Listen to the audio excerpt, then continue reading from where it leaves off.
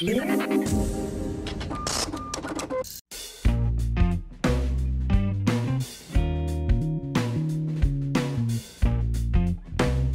meta fundamental de todo lo que hacemos es el bienestar de la humanidad, el bienestar de los ciudadanos.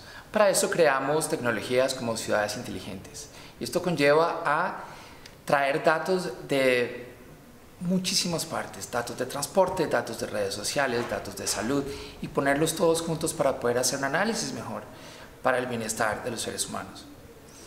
En eso lo importante es saber cuál es el ¿Cuál es la manera que nosotros vamos a traer estos datos? Y una manera de pegarlos todos es geoespacial.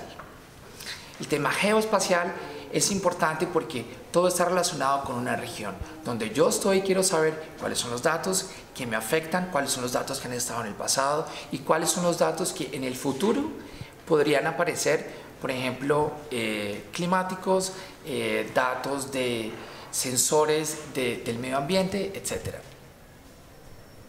Entonces mi mensaje es eh, tener presente que para traer estos datos es importante tener el tema de geoespacial.